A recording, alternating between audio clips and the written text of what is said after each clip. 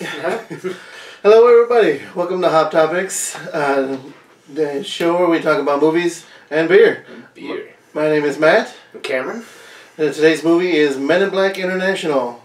And our beer today is. the Lagunitas Equinox. Kind of spacey. We wanted a different beer, but you know, whatever. We did the best we could with what we had. Yeah. Alright, so um, going into this movie, what kind of expectations were you having? Anything like positive, negative? it was mostly negative. Like, um, like I didn't have very high expectations with this one. I mean, the last one, the third one didn't didn't like tell a story very well. It just it just didn't flow very well. And this one, yeah, I just didn't think this was gonna be a very good movie at all. It just seemed, just seemed kind of like forced. Like they needed to make this movie. For some reason, they just they just like yeah, let's put out a movie. Why not? What what did you think? You know. Well, obviously, easy cash grab. You know, Men in Black. Even with, you know, each iteration getting worse and worse, it was definitely going to be an easy cash grab for them. Like people are going to see it regardless. Um, going into it, I had some decent expectations. I didn't think it was going to be a great movie, but you know, I thought coming off of you know Thor Ragnarok and uh, the Avengers that at least Chris Hemsworth has found a really good com- com- comedic stride, and that he would be really funny in this. So that's what I was hoping for. Um, but you know, like we think, um, like Matt thinks, uh, he definitely did not have very great expectations. I had like very middle of the road, you know, almost no expectations except. Uh, that Chris Hemsworth was going to be entertaining. But uh, Yeah.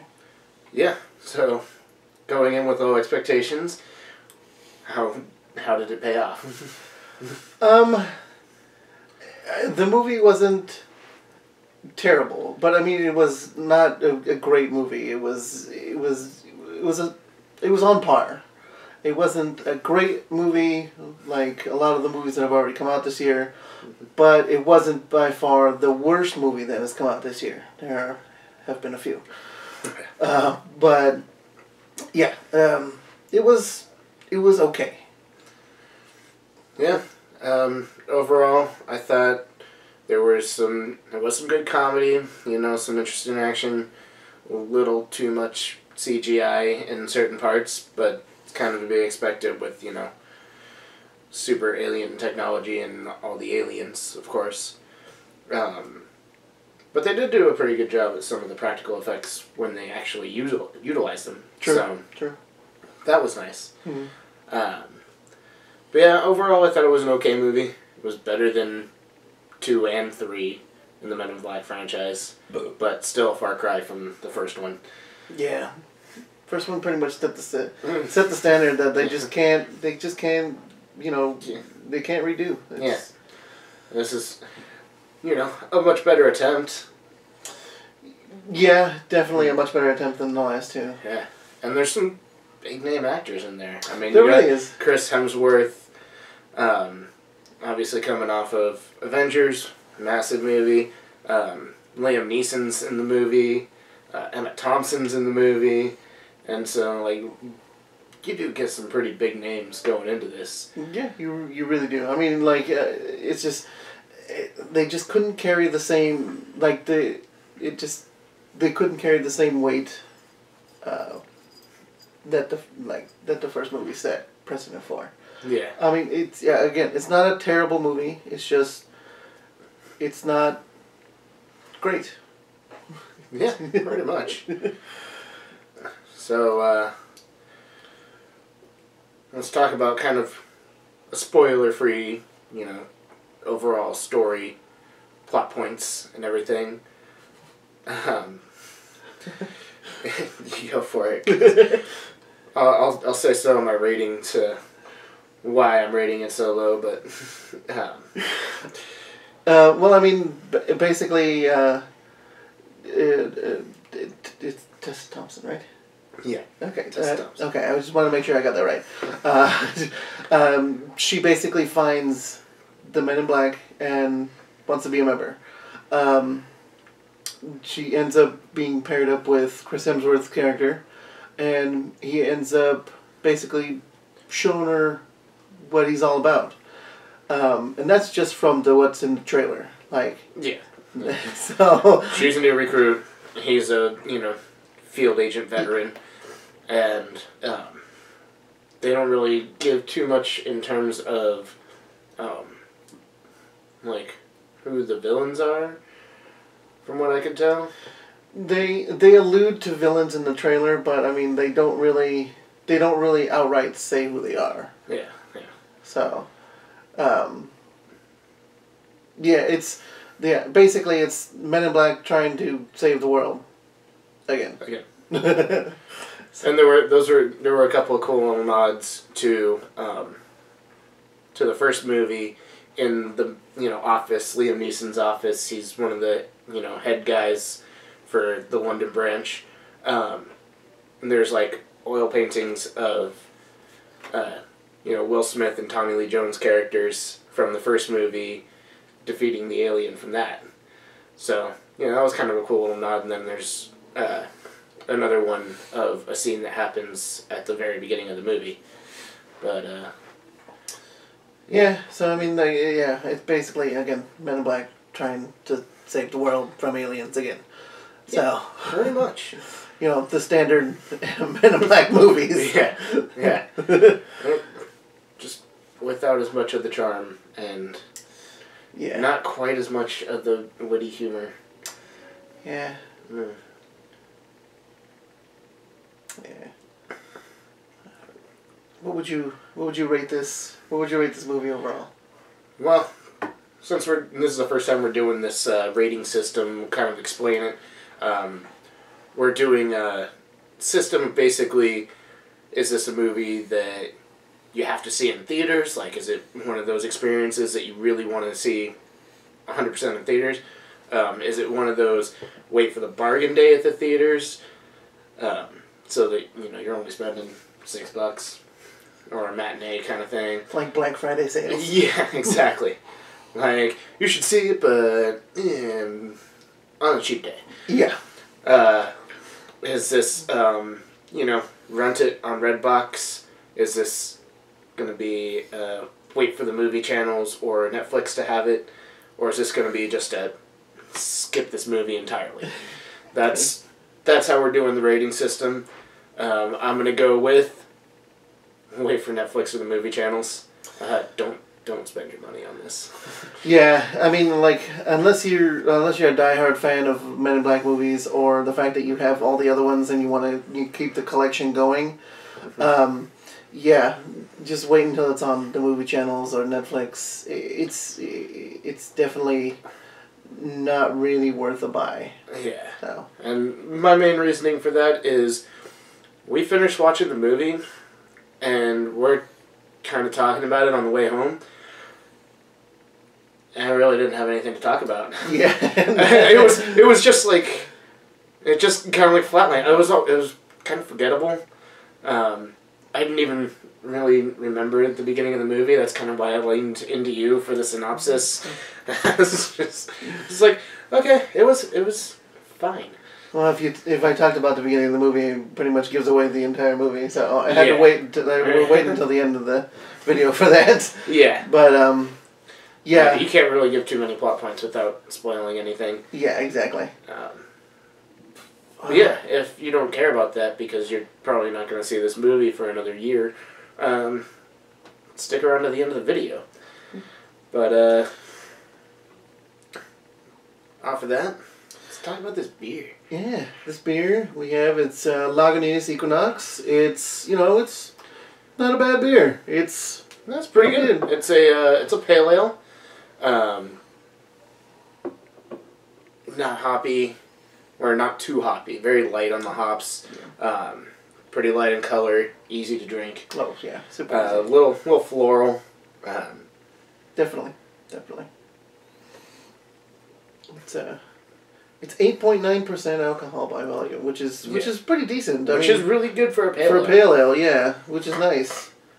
Yeah, so, which uh, yeah, and also it says fifty IBUs. 50 IBUs, that's international bitterness units. Um, yeah, so it's it's a little higher than what you're going to get from any stouts or pilsners or lagers or anything like that. It's just a nice hoppiness, nice little bitterness to kind of cut through some of the fruitiness in the beer. Yeah.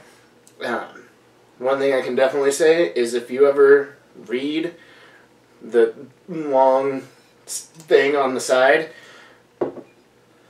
you have to have a high tolerance for BS. Yeah, and that you- is annoying as heck to read. Yeah. It took me. It took me a couple times, like reading a couple sentences over and over again. I'm just all like, I hate this. Oh, Yeah, you're definitely either gonna want to murder. me. You're gonna really either want to murder somebody because, like, whoever wrote this was out, out to die because it's, it's insanity and it's it doesn't. really ridiculous. Yeah, it's it doesn't help. Um, but yeah, uh, Lagunitas, they make a lot of great beers. They're really good. Um, not a whole lot I can say about them from Petaluma, California. Um, and I think they have a brewery in Chicago. Uh, so. I'd have to double check on that to be 100% sure. But, uh, and then they were bought up by a larger brewery. I forget who. One of the big, you know, like the Heineken or, you know, yeah. One of them. yeah, one of the one of the bigger one of the bigger ones that are trying to buy up all these Yeah. small breweries just so like they The, the benefit of that is that hopefully more craft beer gets cheaper. Yeah, That would be nice. that would be nice. But uh, Pump big money into small good beers. yeah. Um, but on topic for the movie, give this beer a solid. Uh, mm, yeah, I, I'd give this a four. Yeah, I definitely Four out give of five. Yeah, give this Uh, a four. Four out of five. Uh, hmm, I didn't really think of a uh, witty movie related thing. Four out of five. Universe ending weapons, I suppose.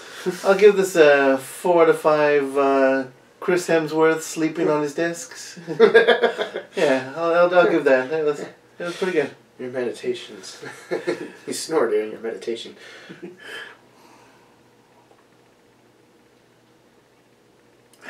It's a yeah, it's a it's a good light beer. I mean, it's more floral than it is hoppy. Yeah, it's also a good beginner beer. So I mean, you know, Yeah, If you're kind of afraid of IPAs, you want to branch out, but don't want to get super hoppy and super bitter, uh, this would be a good choice. Yeah. I mean, this is also a good like like in between like branching into like stronger stronger beers and stuff Yeah. like that. Yeah, Um, 8.9% is definitely no joke. Yeah, especially if you're trying to uh, branch into like uh, like hoppier beers as well, Yeah. or like more floral Or- beer, beers and stuff like that. Or even like double IPAs, which aren't as hoppy but more malty and, Yeah. you know. This, this, a good, a good uh, bridge kind of beer. Yeah, Like definitely, that. definitely. I Yeah. like this. It's a good bridge beer. Yeah, yeah.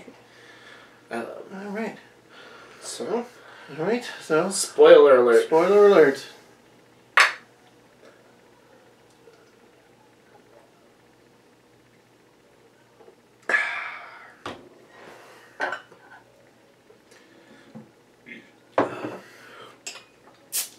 Okay, so the beginning scene at the beginning of the movie um, basically gives you away the entire rest of the movie. Well, it doesn't immediately give it away, but you pay enough attention to it, and sorry, man, went a little overboard. Kind of forgot I was sharing. You Yeah. can, you can have the rest. It's okay. Yay! More beer. Another beer. Um, but I mean, if you know if you know anything about any any movie, really, I mean, you you know what's gonna happen. Yeah. like- you know how foreshadowing. Yeah, exactly. Um, the con- the one thing that they try and h- hammer home in this movie, and they do it so much through this movie, is like it's re- they're really hard, heavy on fate Yeah. and like things happen. The universe will always put you right where you need to be, uttered over and over again during this movie. Like, Yeah, I mean, it's yeah, it's it was meant to happen. These things were meant to fall into place like this. Um, it's it really is hammering at you over and over and over again. It's just it's really annoying. Yeah, it is annoying, and I mean, I didn't notice it quite as much as he did. I was just kind of trying to enjoy the movie. I mean, obviously thinking about it critically because you know I got to review the movie, but you know, just trying to focus more on the good parts of the movie, so that I don't come off as just bashing the movie throughout the whole video. Because it isn't so bad that I need to bash the movie throughout the whole video. True. I mean, it's not. It, it, it does have its it does have its high points. I mean, Chris Hemsworth uh, is is great throughout the movie. Like his his his wit and his banter back and forth with uh, Tessa Thompson is really really good. Like she plays a great great like um, like a stoic role where he's the more the more goofball um, kind of aloof character Yeah. Which which it like they play so well together. They just they have great chemistry and like Yeah, every movie that is that absolutely true, and you know it definitely helps that they work together on, you know, Thor Ragnarok, Yep. which was a terrific movie. Might, might do just a, a flashback review on that one someday because I love that movie. I'll take any excuse to rewatch it. um, but yeah, they have great chemistry on screen. Their banter is on point. Um, Pawny, a little pawn character in there. Pawny, uh, the little yeah, the little guy, the little guy. He's called, he's played by uh, uh, Kumail Nanjiani. Um, he's he, he everything he's like every, he just steals the scene every single time. Every he's time it. he's in it. It's it's Some of the stuff he says is a little dorky, you know, like whatever, but it, a lot of his lines and um, his delivery is on point, and he's the majority of the comedy in the movie. Oh, definitely. Like he sets he sets up everything so well, and like everything is just everything just plays off of him so well in the movie. Um, the um, the one person that I did not know was actually in this movie was uh, um, Rebecca Ferguson, who plays the um, plays the um, like the like the gun dealer in the movie. Um, Yeah. Aliens, weapons dealer. yeah Um, who's also an alien herself, but I was like, I was like, I know this lady from somewhere, and she's from the um, she's from the last few Mission Impossible movies, um, and man, she looks so good in this movie. looks I was super like, good. damn. Yeah, yeah. Um, but yeah, like she like she her character is play plays really well. I mean, it's just it, it just it keeps like her her character is so rewarding. I mean, whether she had like she has like fifteen minutes of this movie. yeah, seriously. And like, the amount of time you're spending on this character is seriously because he really likes the way she looks. Exactly. I mean, like, She I mean, well, that and she plays the character really well, and she also like, um, the the alien herself is actually really really cool. Like, Mhm. um, like a lot of things that you you like you're not expecting, and then all of a sudden, like she a a third fist from her back comes out and Yeah.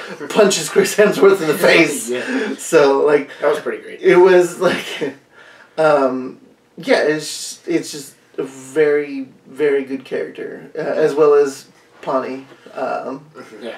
um Liam Neeson As he fine. he was he was good he was okay He was- I mean like he was Liam Neeson. He I mean really yeah he, he's not huge uh, presence in the movie, I Yeah. suppose.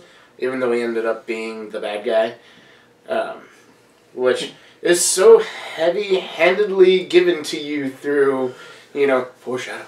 Yeah That it's like they're trying to set up a red herring character, like, oh man, this guy. this guy seems this really guy, suspicious he doesn't mean, really like Chris Hemsworth, he must be evil. yeah, But exactly no, no Yeah. not at all. Yeah, Like, no, like you can you, You see you right through it yeah you totally see right through it. It's just it, they tried so hard to pin it on this character, but you totally know you totally Oh, know that it's it's Liam Neeson as the bad guy, Yeah. which which was fine. But I mean, like I you know, want I a didn't, little, I you want need I didn't need it to be shoved down my throat so early in the movie. It's like you see that opening scene where they're facing what the main villains are, which is uh, an alien species called the Hive that infiltrates other species and wants to I don't know eradicate.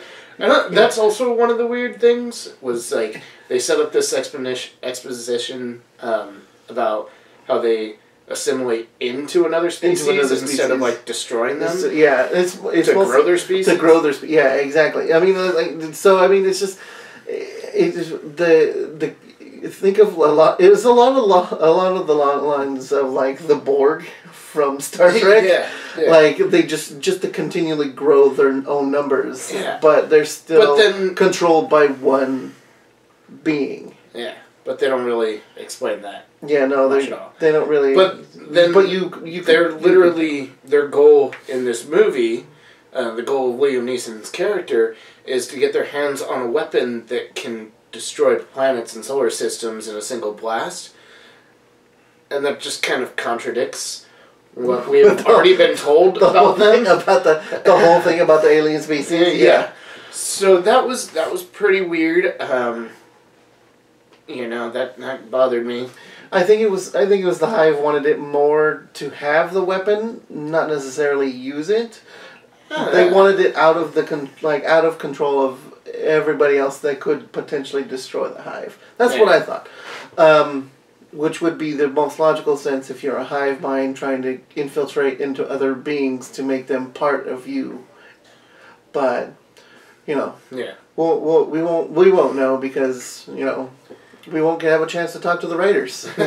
Which two out of the three writers Worked on were done. Transformers movies. Yeah, they, uh, they worked on the last one, the last uh, last Uh, Knight, and so it was bad. so bad, So bad. so bad. It turned from hey, let's watch a neat movie about monster fights or robot fights, into just a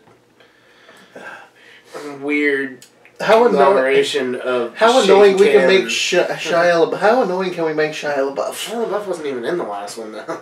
He wasn't in the last one. That's true, but I mean, like, that's what the Transformers movies turned into until the third one, and then after that, it's like, let's put Mark Wahlberg in movies. yeah. I mean, So, I mean, well, like- they wanted to. Well, Shia LaBeouf stopped acting at that point, I think. Yeah, then they found out that he's actually. Really But we're not talking about Transformers. Sure. I don't want to. But uh, but the third writer that was in the third writer that was in this um, part of this movie, he actually has uh, written for all three of the original um, Men in Black movies. So I mean, he's been through this the entire So time. he been wrote one good movie, and then a less good movie, and then a really bad movie, and then this one, which is fine. I think that, I think they they tried to do like too many different writers for the second and third one. Yeah. And they had too many conflicting ideas and that they all wanted to put into the movie, and Right. uh, it just yeah the other ones didn't mesh well. Uh, this one is just there's a lot of parts where it just seems like they're they're force feeding you a, like a lot of stuff that's that really isn't necessary. Yeah. But I don't know. It was still fine. Yeah, it was still it was still a mm-hmm. fine movie. fine. Not not that big a deal. Yeah, Yeah. it was better than the third one. That's for sure. Absolutely. I, I know I watched the third one. I completely forgot what it was about until you reminded me. and I still don't remember actual parts of the third movie.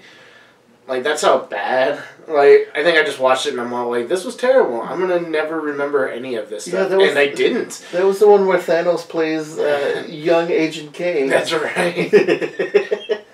Thanos. Thanos. Thanos is a young Tommy Lee Jones. Maybe you can. Uh, I mean, it wasn't like the worst casting choice. No, I'm not saying it was a bad casting choice. I'm just saying like he was Thanos.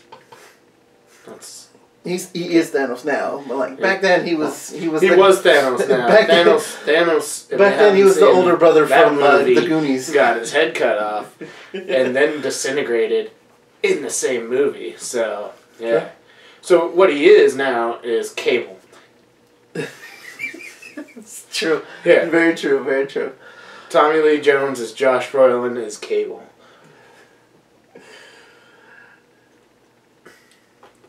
Yeah, I don't know. I don't really have a lot more to say about this movie. Yeah. We're already going 25 minutes. Um, Yeah, I mean, we're like, yeah, I mean, that's pretty, that pretty much just sums up the entire movie. I mean, there really wasn't much to spoil. A lot of it's in the, a lot of it's a in the of it's trailer. in the trailer. yeah, like, they really Um, uh, ruin everything in the trailer. Yeah. Although it was cool watching the, you know, planet destroying weapon being fired at like 0.01% and then creating a new Grand Canyon in, you know, In the middle of the, the like, in the middle uh, of the desert. the deserts. Yeah. yeah. So that was that was neat. Do Uh, you think anyone's gonna notice? probably. Probably. Um, but yeah, uh, I I don't really have anything left to say about this movie. Yeah, you? neither do I. So, and here we end it. Here's to you. Here's to me, Friends for life, we should always be. and if by chance we disagree, Well then, screw you. here's to me.